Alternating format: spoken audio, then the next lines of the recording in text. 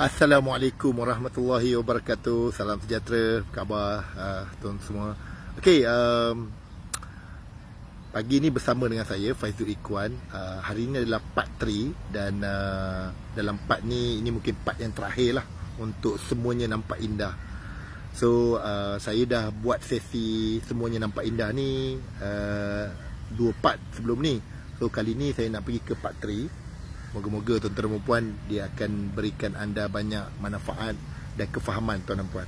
Okey, tuan dan puan, uh, bagi yang baru join saya tuan dan puan ataupun mungkin ini kali pertama anda tengok part 3 kan dan uh, anda tak faham, uh, cuba fahamkan. Okey.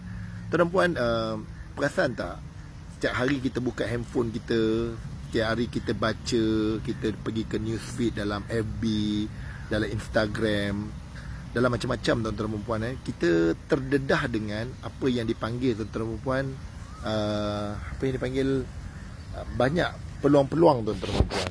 Uh, kita terdedah dengan banyak peluang-peluang okey? Dan peluang-peluang ni tuan-tuan dan puan kadang-kadang bagus. Tetapi pada masa yang sama kadang-kadang peluang-peluang yang ada ni sebenarnya hanya memberi kesan negatif pada anda. Maksud saya apa tuan-tuan dan puan eh? Kita bila terdedah dengan pelbagai perkara di keliling kita dia seolah-olah melambatkan kejayaan kita. Dia seolah-olah tuan-tuan dan puan membuatkan kita uh, tak boleh nak capai apa yang kita patut capai.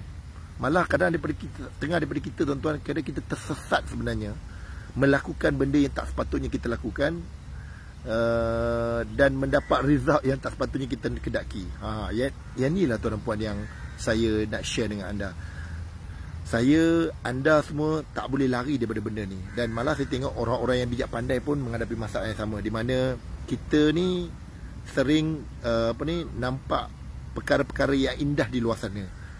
Sehingga kan kita tak berjaya untuk uh, menghabiskan ataupun uh, menyempurnakan apa yang kita patut buat dan apa yang kita telah mula buat. So yang inilah saya nak share dengan anda tuan-tuan okey So, uh, Assalamualaikum, apa khabar semua? Alhamdulillah, terima kasih join saya Mr. Serwan uh, dengan Tuan ni, Tuan Ahmad Asri. Okey, uh, tuan dan puan, uh, topik saya hari ini adalah Shining Object Syndrome. Okey. Saya dah share dah tentang Shining Object Syndrome ni uh, dalam wall saya, uh, part 1 dengan part 2. Kalau anda terlepas, anda boleh tengok dalam part 1 dengan part 2. Cuma uh, dekat part 3 ni adalah part penghabisan. Saya nak cerita dengan anda habis lah. Habis saya nak habiskan lah part 3 ni. Okey. Tuan puan, perasan tak kita ni, kita ni macam anda, macam saya kan, uh, kita sedang buat sesuatu dan nampak menarik uh, apa yang kita buat tu dan mula menunjukkan uh, result yang kita nak ataupun dah mula menunjukkan uh, outcome yang kita nak. Tetapi tiba-tiba pula tuan-tuan kita pandang benda lain. Ha, bila kita pandang benda lain tuan-tuan Kalau sekadar pandang saja okey. Tetapi tuan-tuan Kebanyakan kita apabila pandang saja benda lain Kita nampak yang sana lebih shining. Maksud shining apa tuan-tuan Yang sana nampak lebih indah. Yang sana nampak mungkin lebih updated. Yang sana nampak mungkin uh, popular. Yang sana nampak mungkin tuan-tuan perempuan uh, Akan memiliki persepsi yang bagus. So apa jadi tuan-tuan Bila kita nampak benda yang bagus tu? Senang saja tuan-tuan perempuan kita akan tinggalkan apa yang kita buat sekarang ataupun kita akan stop dulu ataupun kita akan slow down apa yang kita buat dulu dan tengok apa yang indah, apa yang menarik, apa yang tu. Contoh-contoh tuan-tuan buat. Uh, contoh perasan tak TikTok, TikTok kan? TikTok kan?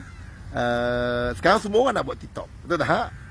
So TikTok tuan-tuan puan boleh juga jadi satu a shining object tuan-tuan puan bagi anda. Okey. Uh, kenapa saya cakap macam tu tuan-tuan puan? Sebab Kalaulah benda tu anda habiskan masa yang banyak dan tak ada result yang signifikan, so kadang-kadang tuan-tuan dan puan, benda tu boleh membuatkan anda uh, lari daripada apa yang anda cuba nak capai. So itu, itu itulah dipanggil tuan shining object. Saya rasa benda ni berlaku dalam banyak area tuan-tuan dalam hidup kita. Antaranya tuan-tuan, kalau kita nak kuruskan badan pun kita ada shining object kita. Contoh shining object dalam effort kita kuruskan badan adalah kita tengok uh, kaedah-kaedah kurus badan yang lain kita ada DSS, kita ada protein diet, kita ada IF, kita ada banyak tuan-tuan perempuan kan. So dalam apa ni dalam kehidupan kita yang lain tuan-tuan dan puan pula dalam marketing tuan-tuan dan puan. Kita dah fokus pada satu marketing kan. Lepas tu kita nampak benda-benda lain so apa kita buat tuan-tuan dan puan? Kita pun uh, kata nak cuba benda tu semua. Okey. So tuan dan puan fahamkan betul tuan-tuan dan puan eh. Kita sangat ditakluki oleh marketing hari ini tuan-tuan dan puan. Maksudnya apa? Everything around us eh, semua benda keliling kita ni tuan dia dia seolah-olah kerja dia setiap hari hantar marketing pada kita suruh kita berubah. Suruh kita menuju ke arah shining object tu tuan-tuan dan puan. Dia dia suruh kita menuju ke shining object tu. Dan benda ni tuan-tuan kalau kita tak dapat kawal kita ni dipanggil champion in nobody land so ini yang saya nak share dengan tuan-tuan dan puan supaya anda anda anda tuan-tuan dan puan eh dapat terus fokus dengan apa yang anda buat dan mencipta kejayaan yang patut anda kecapi tuan dan puan. Boleh ke boleh? So yang ni yang ni saya nak share dengan anda tuan dan puan. Boleh eh? Insya-Allah tuan dan puan. Okey, sebelum tu tuan dan puan um, saya nak welcome tuan dan puan. Uh, Sirwin terima kasih kerana join saya. Shida terima kasih kerana join saya. Tuan Wan Zayu terima kasih kerana join saya. Uh, Hasdi terima kasih kerana join saya. Nick Sarul terima kasih kerana join saya. Okey. Uh, Hasdi terima kasih. Ati terima kasih Ati eh join saya. Sachadia terima kasih kerana join saya. Zulfadli uh, dan semualah. Okey, tuan-tuan. So, macam mana nak elakkan daripada kita terkena shining object syndrome ni tuan-tuan puan. Okey, saya dah bincang tiga dah tuan-tuan puan dalam sesi saya sebelum ni. Nombor satu adalah terbalikkan falsafah anda. Anda dah dengar dah kan? Kalau siapa yang belum dengar, dah dengarlah balik. Yang kedua tuan-tuan dan puan, hati-hati dengan signal kecil kan? Yang kadang-kadang kita ikut buta-buta ataupun kita ikut dengan buta. Ha macam tu tuan-tuan. Dan yang uh, yang ketiga tuan-tuan dan puan yang saya share semalam adalah uh, apa tuan-tuan eh? Aha, apa eh? Allah Allah Allah Allah masalli ala sayyidina Muhammad. Okey, tak apalah tuan-tuan. Okey. Kali ni tuan-tuan puan eh, saya nak share dengan anda beberapa tips lagi untuk elakkan daripada kita kena shiny object syndrome ni tuan-tuan puan. Tuan-tuan puan, saya cakap tu terang, saya kadang-kadang kena juga. Tapi most of the time, most of the time, saya dapat kawal diri saya daripada terkena shining object syndrome tuan-tuan puan. Okay, so yang ni lah saya nak share dengan anda dan harap tuan-tuan puan you can learn from this and take some action. Okay, tuan-tuan puan, apa cara-cara untuk mengelakkan daripada shining object syndrome? Nombor satu, tu, apa nombor empat tuan-tuan puan, ah, nombor empat kan, adalah tuan-tuan puan sentiasa fikirkan uh, konsep mastering tuan-tuan puan. Okay, apa maksud konsep mastering tuan-tuan puan? Tuan dan puan Bila kita buat sesuatu Contoh-contoh tuan-tuan eh, Kita baca satu buku tuan-tuan dan puan Kita sedang baca satu buku Dan tiba-tiba kawan kata Eh kau baca buku ni lah Buku ni lagi best Apa jadi tuan-tuan dan puan Kemungkinan besar kita akan berhenti baca buku tu Dan kita akan baca buku lain Setuju tak tuan-tuan dan puan So perbuatan menghentikan diri kita untuk habiskan baca buku tersebut Dan pergi pada buku yang lain Sebenarnya anda sedang lari jauh daripada apa yang dipanggil mastering tuan-tuan puan. Mastering ni buat apa tuan-tuan puan? Walau apa pun anda buat, anda kena buat sampai habis. Itu dia punya term mastery ni tuan-tuan puan. Okey, saya tahu ada yang cakap dengan saya macam ni. Dia kata, Faizul saya dah buat dah tapi saya nampak result tak bagus. Okey, tuan-tuan dan puan, cuba cek balik. Kenapa result tak bagus? Because of you already kena dah shining object apa ni? Shining object syndrome. Yang mana tuan-tuan puan Bila you buat satu benda Dan bila you buat satu benda Lepas tu you nampak benda lain Benda yang ada ni sekarang tuan-tuan puan Dia jadi macam apa tau Dia jadi macam Kita cepat nampak buruk dia Kita cepat nampak tak elok dia Kenapa? Sebab mata kita kat tempat lain. So itu pasal saya suka cakap tuan-tuan puan eh. You nak buat apa-apa tuan-tuan puan You buat sampai habis. Walaupun you ada macam-macam alasan. Sebab apa tuan-tuan puan Ini tanda-tanda You dah kena dah Chinese Object Syndrome. Problem dengan kita ni tuan-tuan puan dengan saya dengan anda semua adalah apa tau?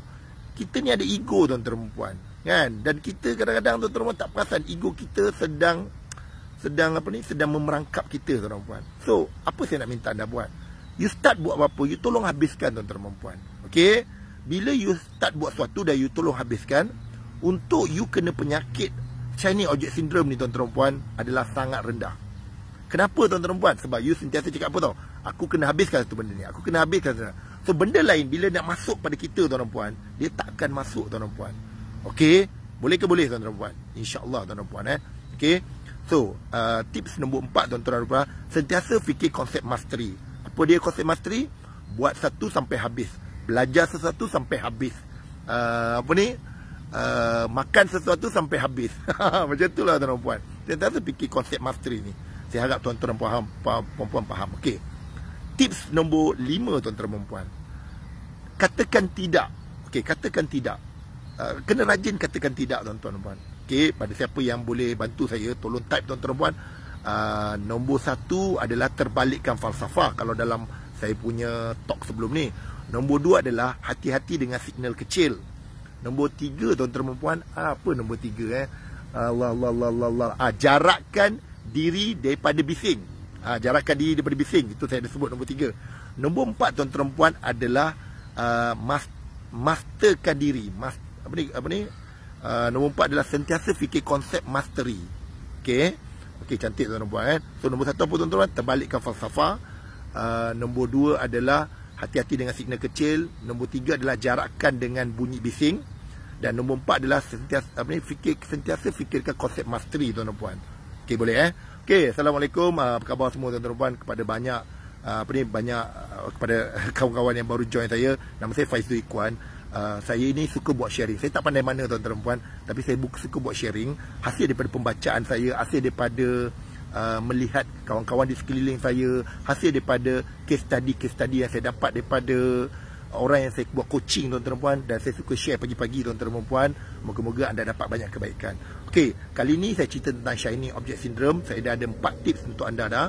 Kita akan masuk tips kelima tuan-tuan puan. Bagaimana supaya kita tak tak terkesan ataupun kita tak jadi mangsa kepada shiny object syndrome.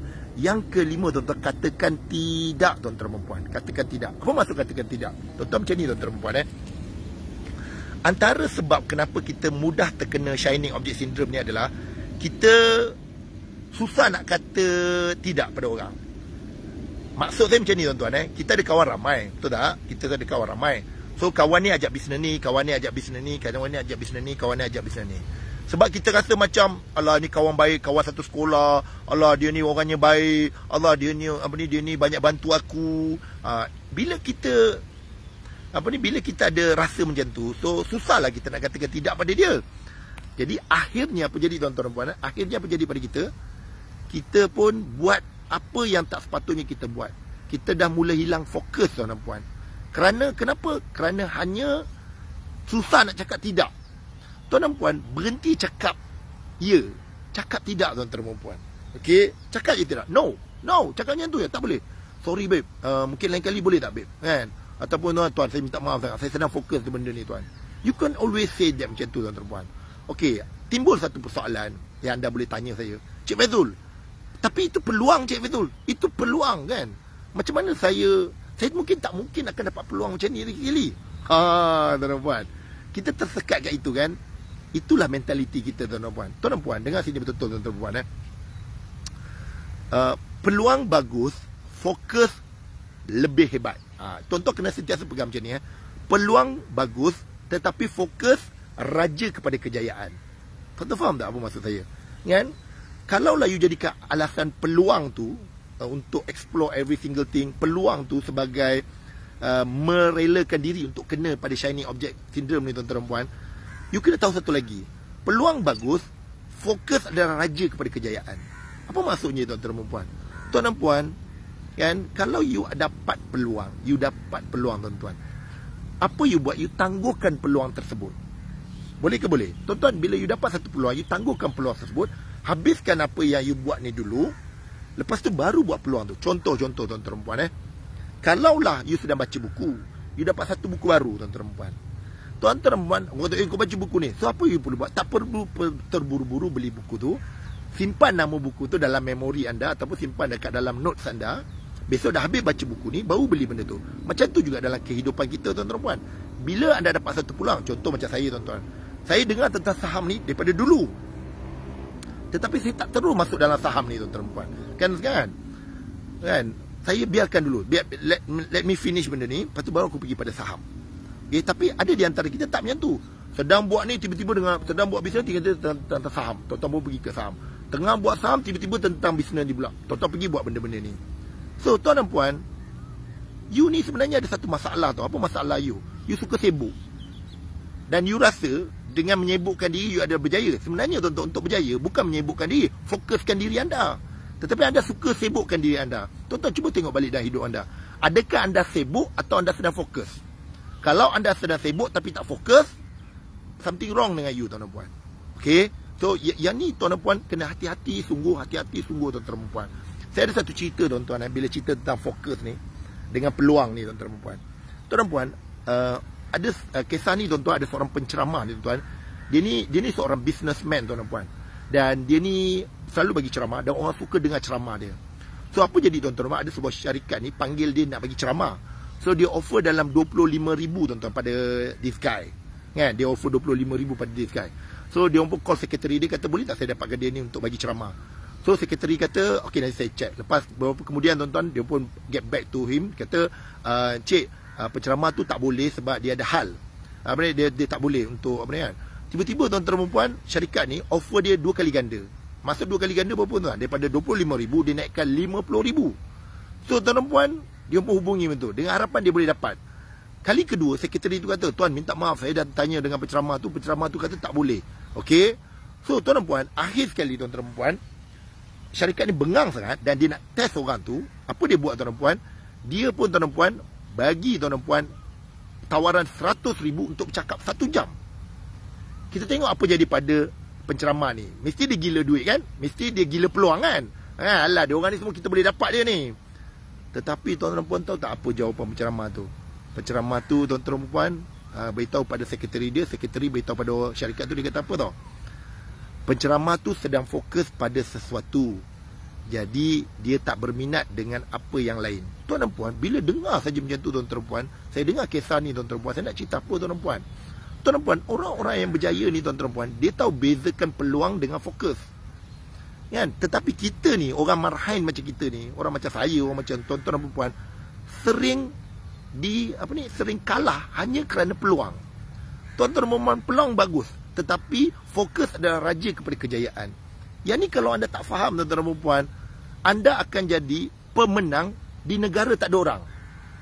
Anda akan jadi pemenang dekat balapan ataupun dekat apa ni dekat gelanggang lumba lari yang tak ada pelari lain tuan-tuan dan puan. So hati-hati sungguh sangat tuan-tuan dan puan eh.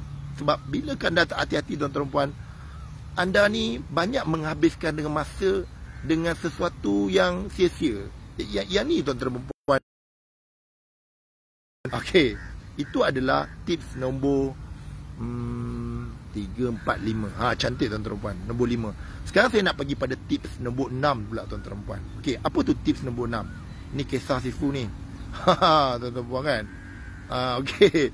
Okey tuan-tuan puan. Okey, tips nombor 6 tuan-tuan puan adalah buang buang perkara yang merangsang kita. Buang perkara yang merangsang kita. Maksud maksudnya macam mana tuan-tuan puan eh? Tuan-tuan puan macam ni tuan-tuan puan eh?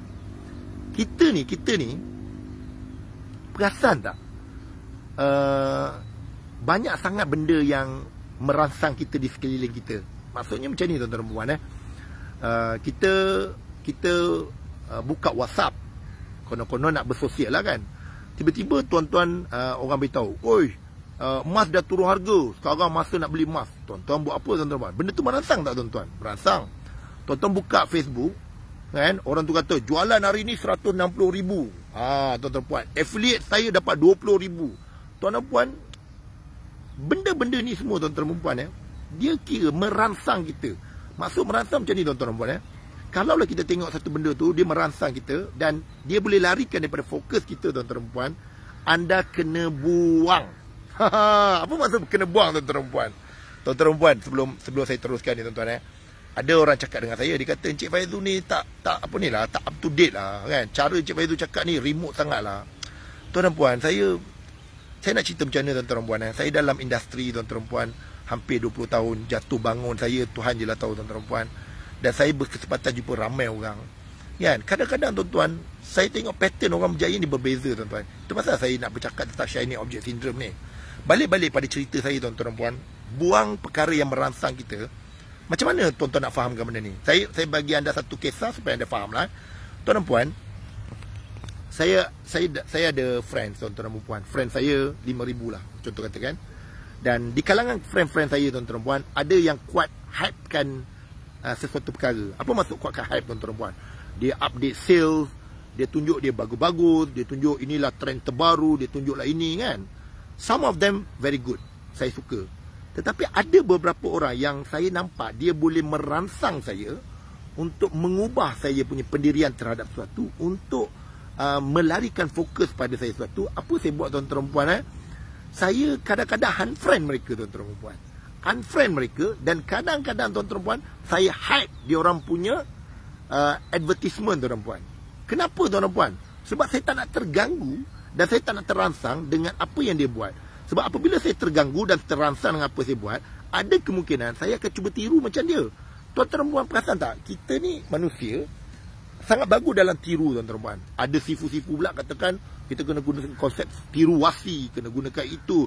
Ya, betul tak? Which is saya kesian kan. Jadi tuan-tuan puan, cuba tengok balik dalam list WhatsApp anda, dalam list FB anda, sesiapa tuan-tuan puan yang mampu merangsang anda untuk anda lari daripada fokus anda just tuan-tuan hide dia punya posting ataupun kalau rasa terlampau teruk sangat tuan-tuan puan just delete tuan-tuan puan. Dan ini ya apa ni inilah benda-benda yang anda kena faham tuan-tuan puan. Saya ada kawan-kawan tuan-tuan puan sampai dia bila saya kata eh aku nanti WhatsApp kau eh dia kata apa tau? Oh jangan WhatsApp aku lagi dah. Dia kata kenapa? Aku dah tutup WhatsApp aku dah. Aku dah tak guna WhatsApp lagi dah. Bila saya tanya dia kenapa kau buat macam ni? Dia kata tak bro Aku nak fokus lah bro. Aku kalau whatsapp ni aku layan Memang kita Cerita tak habis lah sampai bila-bila kan. So aku buang whatsapp. Tapi kau tak apa ni Tapi kau tak hilang Takut hilang peluang kan Dia kata Masa tu saya terfikir kan Oh Inilah yang dikatakan tuan-tuan puan eh. Peluang itu bagus Fokus itu adalah rajin kepada kejayaan. Okay So tuan-tuan puan Ada orang sampai sanggup buat macam ni tuan-tuan puan.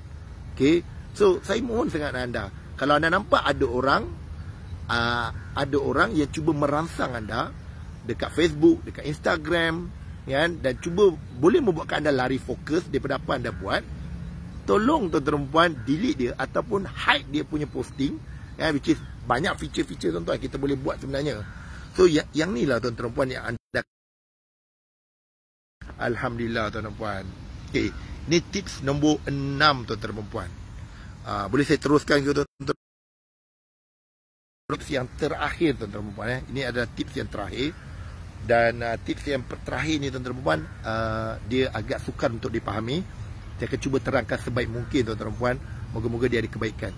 Tips yang terakhir tuan-tuan puan, uh, tips yang ke tujuh barangkali kot. Okey, adalah fokus pada nilai bukan populariti tuan-tuan puan. Okey, fokus pada nilai bukan sebab populariti sesuatu. Okay, apa maksud dia tuan-tuan puan? Tuan-tuan puan, uh, bila kita nak buat sesuatu, kita kena faham nilai jangka masa panjang sesuatu itu. Apa maksudnya tuan-tuan puan? Tuan-tuan puan, bila kita start buat sesuatu, macam saya start buat sesuatu tuan-tuan puan, eh? contoh kata tuan-tuan puan, eh? saya buat sharing macam ni tuan-tuan puan. Saya tahu jangka masa panjang saya tuan-tuan puan adalah satu hari nanti saya pandai buat sharing. Saya ada banyak idea buat sharing kan so in future insyaallah tuan-tuan puan i going to be a better guy a better person saya akan jadi penceramah yang lebih baik. Saya akan jadi seorang yang pandai berkongsi tuan-tuan puan. So itu nilai yang saya nampak tuan-tuan puan. Tetapi tuan-tuan puan kan kadang-kadang kita terlupa tentang nilai jangka masa panjang dan kita fokus pada populariti semasa. Ha, apa maksud populariti semasa tuan-tuan puan? Kita dah nampak dah jangka masa panjang tu kan nilai dia untuk jangka masa panjang. Tetapi tiba-tiba bila datang saja shiny object syndrome ni tuan-tuan kita kata oh uh, orang dah orang dah tak ala nanti 2 3 tahun orang dah tak nampak aku dah oh, sekarang ini yang trending ni ini yang trending ni ha, baik aku buat ni tuan-tuan puan ini dipanggil tuan-tuan fokus pada uh, popularity tuan-tuan puan yang, yang ni banyak yang kita terlupa nak buat tuan-tuan puan kan okey uh, ataupun kita terlepas pandang tuan-tuan puan. Uh, contoh lain macam mana? Contoh lain macam ni tuan-tuan puan eh. Uh, saya saya beli emas ah. Saya saya bagi contoh tuan-tuan eh. Saya beli emas untuk jadikan pelaburan. Tuan-tuan dan puan tuan-tuan tahu kan kisah kan? Uh, masa zaman saya nak kahwin tuan-tuan dan puan emas harga dia lebih kurang RM57 tuan-tuan dan puan 1 gram. Dan apa yang berlaku tuan-tuan dan puan adalah sekarang emas tuan-tuan dan puan naik sampai 260 lebih tuan-tuan dan puan dalam satu kasa. So maksud fokus pada nilai bukan populariti apa tuan-tuan puan. Jadi tuan-tuan puan eh. Anda katalah saya pun uh, melabur emas. Kan? Saya melabur emas. Tuan-tuan puan untuk kita untuk kita faham, pelaburan emas ni dia tak boleh satu tahun dua tahun. Dia kena main lima enam tahun tuan-tuan puan. Sebab nilai dia hanya kita akan nampak pada lima enam tahun akan datang. Tetapi apa yang berlaku tuan-tuan puan adalah lepas tahun dua tahun tuan-tuan puan, saya tengok benda lain pula popular. Contoh kata Bitcoin popular. Betul tak? So apa saya buat tuan-tuan puan? Saya pun tinggalkan, saya pun jual balik emas saya Walaupun kadang-kadang berada dekat kerugian tuan-tuan puan Saya pun join Bitcoin tuan-tuan puan Kenapa? Sebab semata-mata Bitcoin itu popular Kan? So hati-hati tuan-tuan puan Tuan-tuan hari tu tuan-tuan puan eh Saya apa ni Saya sempat um, Berkonferen dalam Clubhouse tuan-tuan puan Apa tu Clubhouse tuan-tuan? Satu aplikasi dalam iPhone Yang mana uh, dalam iPhone tu tuan-tuan puan ada satu aplikasi yang mana bagus tuan-tuan puan kita buat perbincangan ilmiah tuan-tuan dalam tu. So apa yang berlaku tuan-tuan? Ni satu kisah yang bagus tuan-tuan eh bila saya akan cerita tentang fokus pada uh, nilai bukan pada populariti. Apa maksudnya tuan-tuan puan? Maksudnya macam ni tuan-tuan puan eh. Kan? Kan? Uh, fokus pada sesuatu yang trending which is wrong. Uh, uh, saya uh, okey biar saya habiskan secara kan supaya saya faham fokus pada uh, nilai bukan pada populariti tu macam saya cakap tadi itulah kan. Uh, kita nilai ni tuan-tuan puan dia biasa ambil masa. Tapi populariti dia bersifat hype sekejap-sekejap. Contohlah tuan-tuan eh macam tadi saya cakap lah kan. Saya tahu emas ni dia harga dia akan menaik tuan-tuan puan tetapi saya kena tunggu 6 tahun saya kena tunggu 10 tahun. Tetap uh, dan saya pun dah melabur sedang melabur-labur tiba-tiba tuan-tuan ada orang kata bitcoin bagus So orang yang tak fokus pada nilai dan fokus pada populariti apa dia buat tuan-tuan dia keluarkan duit daripada emas tu dia akan labur kepada bitcoin. Dan tuan-tuan percayalah sedang dia buat bitcoin akan keluar pula lagi satu pula tuan-tuan dan puan. Dia akan buat benda tu. Dia akan buat tu keep dia dia keep on doing that tuan-tuan puan. Tuan-tuan puan hati-hati tuan-tuan dengan benda ni sebenarnya. Dia dia hanya akan larikan diri kita tuan-tuan puan daripada uh, dia dia hanya mendekatkan kita dengan shiny object syndrome tuan-tuan puan. Okey, balik-balik pada cerita saya tuan-tuan puan yang tentang clubhouse tadi tu kan. Okey, apa yang berlaku tuan-tuan puan eh? Dalam clubhouse tu tuan-tuan kami sedang berbual-bual uh, tiba-tiba tuan-tuan puan kita punya moderator bawa seorang ni masuk tuan-tuan puan. Uh, dia ni seorang founder tuan-tuan puan kepada Mr Bawal. Mr Bawal tuan-tuan puan. Uh, punya jenama. Apa apa tu Mr Bawal punya jenama tuan-tuan? Mr. Bawal punya jenama adalah sebuah jenama tudung dipanggil Mr. Bawal yang mana hari ini syarikat tu kukuh tuan-tuan perempuan dan dia kalau orang tahulah tentang jenama dia. So apa dia cerita tuan-tuan perempuan eh? Dia kata dia bermula dekat pasar malam dan dia dah nampak dah nilai penjualan tudung ni dah. So apa dia buat tuan-tuan perempuan? Daripada pasar malam dia jual tudung orang lain. Lepas tu apa dia buat? Dia pun cuba buat tudung dia sendiri. Dan tuan dan puan, dan dia berusaha sedikit demi sedikit, sedikit demi sedikit. Dan sekarang ni tuan-tuan, dia kata apa tau? Dia hanya fokus jual tudung bawal saja. Dia hanya suka tudung bawal. Tudung bawal ni tuan-tuan, kalau tuan-tuan tanya saya, kalau orang perempuan tahulah, tudung bawal trending dia 20 tahun lepas. Tetapi because this guy tuan-tuan perempuan eh, dia tahu nilai tudung bawal itu. So, dia tak pergi lompat pada jenis-jenis tudung-tudung lain. Dia terus fokus tuan-tuan perempuan. Dan hari ni tuan-tuan perempuan, jenama Mr. Bawal ni, adalah satu jenama yang sangat ternama tuan-tuan dan puan. Okey, dan benda ni lah tuan-tuan dan puan yang paling mahal sebenarnya.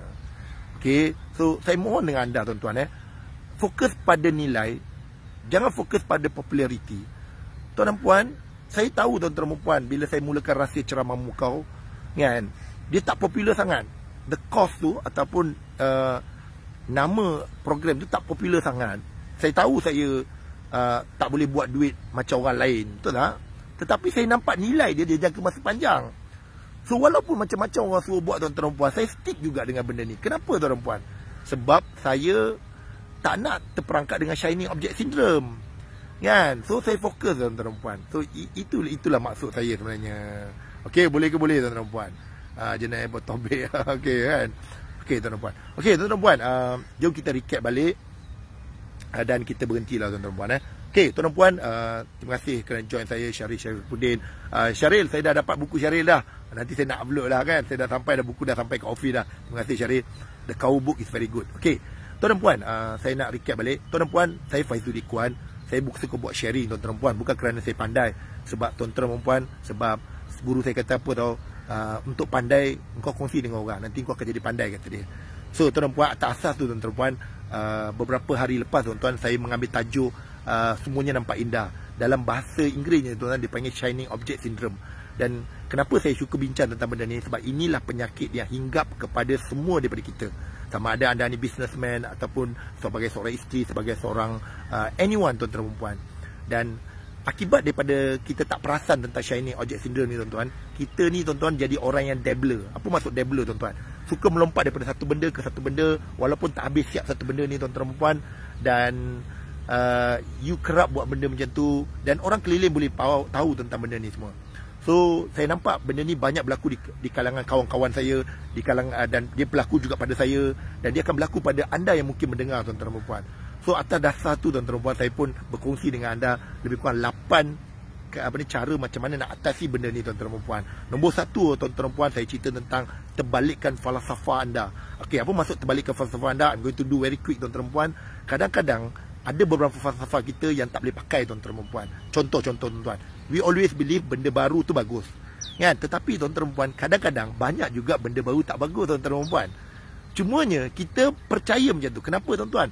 Sebab tuan-tuan dan puan mungkin dalam kursus yang kita pergi dengan kawan-kawan yang bercakap dia kata ini benda baru bagus ni, ini benda baru bagus, ini benda baru. Lama-lama dia bedded dekat sini dan dia jadi falsafah pada kita. Nombor dua tuan-tuan dan puan, hati-hati dengan signal kecil. Kenapa tuan-tuan dan puan? Sebab kita ni tuan-tuan dan puan bila kita buat sesuatu, uh, kita tak perasan kadang-kadang uh, ada satu signal kecil. Maksud signal kecil apa tu? Ada orang kata, kau buat macam ni jadi. Oh, kau buat macam ni jadi. Kadang-kadang kita pick up signal kecil ni lebih cepat daripada signal-signal besar. Sehingga kan tuan-tuan dan puan, akhirnya kita ni tuan-tuan dan puan tak perasan yang sebenarnya kita sedang berpegang pada satu signal ataupun satu informasi ataupun satu kenyataan yang tak ada asasnya. Tapi kita pun tak tahu kenapa kita grab benda tu dan kita hold benda tu tuan-tuan dan puan. Yang ketiga tuan-tuan, jarakkan diri anda daripada noise. Apa maksud jarakkan diri anda daripada noise? Tuan dan puan, tuan dan puan kenal kan Warren Buffett tuan-tuan dan puan. Warren Buffett ni siapa? Adalah orang tergaya di dunia. Tuan dan puan, orang heran dengan Warren Buffett ni. Orang heran kenapa adalah kenapa dia tinggal kat Omaha. Omaha ni kat mana tuan-tuan? Omaha ni kat Nebraska tuan-tuan puan. Nebraska ni kat mana? Nebraska ni tuan-tuan dekat tengah-tengah Amerika tuan-tuan puan. Dan kalau anda tengok jarak dia dengan New York, dengan jarak dia dengan Silicon Valley, gila babi jauh dia tuan-tuan puan. Umpama jarak kat sini dengan ke India jarak dia, eh, eh India jauh sangat. Uh, ke apa ni? Ke Vietnam jarak dia jauh dia tuan-tuan puan. Kenapa Warren Buffett yang kaya macam tu tak duduk dekat New York? Kenapa Warren Buffett uh, yang kaya tu tak duduk dekat Silicon Valley? Sebab that is where the action is on tuan-tuan puan. Bila orang tanya dia, dia kata apa tau? I just want to out of the noise. Saya nak keluar daripada bunyi bising, tuan-tuan. I want to keluar daripada chaos. Chaos maksudnya apa, tuan-tuan? Kalau kita duduk dekat New York, kata dia, dia akan dengar cerita kawan dia cakap macam ni, kawan dia cakap macam ni, kawan dia cakap macam ni. Daripada elok-elok dia tu, uh, elok je, tuan-tuan, dia dia akan nampak shiny object. So, ini inilah dia panggil, tuan-tuan, jarakkan daripada noise. Tuan dan puan, kalau anda nampak ada orang, tuan-tuan dan puan, yang cuba mempengaruhi anda, tolong jarakkan daripada dia ada portal ataupun ada platform yang cuba jarakkan anda jauhkan daripada mereka ni tuan-tuan puan. Sebab ini semua menangguhkan kejayaan kita tuan-tuan puan. Apa lagi tuan-tuan puan? Nombor 5 tuan-tuan puan. Saya kata apa ni? Saya share dengan anda, tolong tuan-tuan pegang pada konsep mastery. Maksudnya apa tuan? Buat satu benda, buat sampai habis. Bezakan tuan-tuan, buat satu benda buat sampai habis. Sebab ramai daripada kita sekarang tuan suka lompat-lompat buat sesuatu. Takkan habiskan baca satu buku. Takkan habis buatkan satu uh, amalan tuan-tuan dan puan. Okey, lepas tu lompat pada amalan ni. Nombor lima tuan-tuan dan puan, saya cerita tentang katakan tidak. Katakan tidak. Tuan dan puan, bezakan peluang dengan fokus. Tuan-tuan peluang bagus, fokus adalah raja kepada kejayaan. Yang tu yang saya bicara tadi tuan dan puan. Lepas tu apa lagi tuan-tuan puan? Saya cerita tentang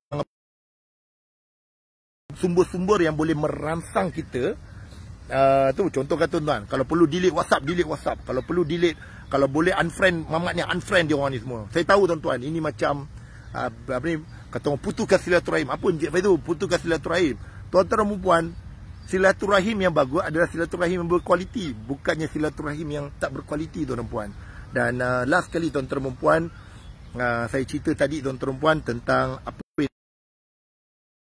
di masa panjang tak ada cerita panjang dah tuan-tuan Dan satu-satu lagi ha tuan-tuan puan. Ni yang last lah saya baru teringat tuan-tuan puan eh.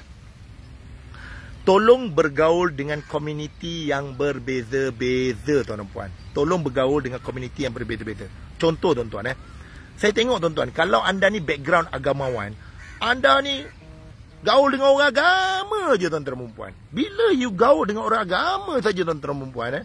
Saya kata bagus tuan-tuan bergaul dengan agama.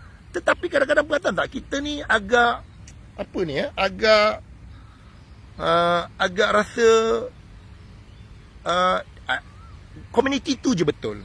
Cara mereka berfikir je betul tuan-tuan dan puan. So tuan-tuan puan, kalaulah anda bergaul dengan orang marketing pula, asal cerita marketing, marketing, marketing, marketing, marketing, marketing, marketing, marketing. Asal cerita tentang marketing je dalam hidup kita tuan-tuan puan. So bila anda cerita marketing je dalam hidup anda, anda sebenarnya tuan-tuan sebab dalam bisnes Ah, saya saya suka cakap tuan-tuan dengan saya punya saya punya uh, apa ni uh, dengan orang yang saya coach. Business is not about marketing. Business is about customer service. Business about key partner. Business is about activities. Business is about resources. Business about revenue stream. Business about customer segment. Tetapi bila seorang tu duduk kat marketing, cerita marketing je lah. Kalau orang tu duduk dengan bisnes buku pula, buku je lah ceritanya. Buku, buku tu, buku ni, buku tu, buku ni, buku ni, buku ni, buku ni kan. Tuan-tuan tolong bergaul dengan komuniti lain tuan-tuan puan. Dengan bergaul dengan komuniti lain anda dapat keseluruhan daripada tu. Okey. So itu saja tuan-tuan puan perkongsian saya tuan-tuan puan setakat ni tentang uh, semuanya nampak indah bagi mereka yang baru join saya. Uh, you should see my uh, apa ni uh, live yang sebelum-sebelum ni. Saya pecahkan live ni pada 3 part, uh, part 1, part 2, part 3. Part 1 ada satu je, part 2 ada dua tu, part 3 ni ada 5 tak silap saya. Kan? Moga-moga tuan-tuan puan uh, anda faham. Dan uh, kalau anda tak begitu jelas sebenarnya just leave comment kat itu. Dan uh, kalau anda rasakan video ni bagus tuan-tuan you can share. Kan? You can share you can always share tuan-tuan moga-moga tuan-tuan puan dia bagi kebaikan pada kita semua. Boleh eh okey so tuan-tuan puan uh, terima kasih banyak tuan-tuan puan Faizul di sini Uh, InsyaAllah tuan-tuan besok saya bawa topik lain pula tuan-tuan puan. Uh, besok saya ada topik yang menarik tuan-tuan puan eh. Uh, saya cuba nak bawa topik-topik tuan-tuan puan yang agak controversial sikit. Sebab apa tuan-tuan puan saya dah bosan dengan bagi motivasi yang simple-simple tuan-tuan puan. Se uh, saya nak bagi motivasi yang betul-betul menduga anda punya mindset. Uh, kalau anda tak puas hati dengan saya maksudnya benda tu baguslah bagi saya lah. Macam itulah tuan-tuan puan. Okay. So saya nak ucapkan pada sahabat-sahabat enjoy saya Siti Asia kerana join saya Muharram. Terima kasih Muharram kerana join saya. Bahagia Jemali, Waalaikumsalam tuan dan puan. Muharram, Waalaikumsalam kan uh, kepada Syakirin kadang-kadang jadi tak matang dalam mana kehidupan sebab berada dalam satu jenis komuniti betul Syakirin. Please leave your community, join other community. Tuan-tuan puan perasan tak kalau sahabat-sahabat saya semua nampak kan? Saya suka join saham, kejap-kejap saya kat sana, kejap-kejap saya kat sini. Kenapa tuan dan puan? Sebab saya nak wider my perspective tuan-tuan dan puan. Tapi saya tengok kadang-kadang kawan-kawan kita semua dia susah nak keluar daripada komuniti yang sama. Kalau fitness, komuniti fitness je lah. Itulah bahagia. Contoh, contoh. Contoh bahagia kan? Betul tak? Kau boleh tak keluar daripada komuniti fitness ni? Sakit kepala lah kadang-kadang. Cih, tak ada gurau-gurau aja.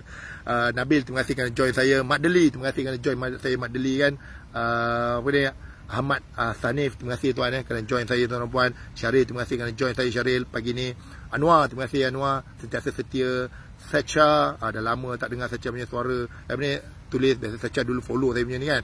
Fakih Naufal Terima kasih Fakih Naufal kan. Uh, Dan lain-lain. Rosdi Ahlela Kobai Kampung. Waalaikumsalam tuan. Waalaikumsalam tuan kan. Uh, Apa ni? Rafida Terima kasih Rafida. Selalu tag tuan-tuan perempuan Hasdi terima kasih. Ian Lee Hai. Apa khabar Ian Lee? Waalaikumsalam Ian Lee. Terima kasih join eh. Syarizal Muhammad Nasir.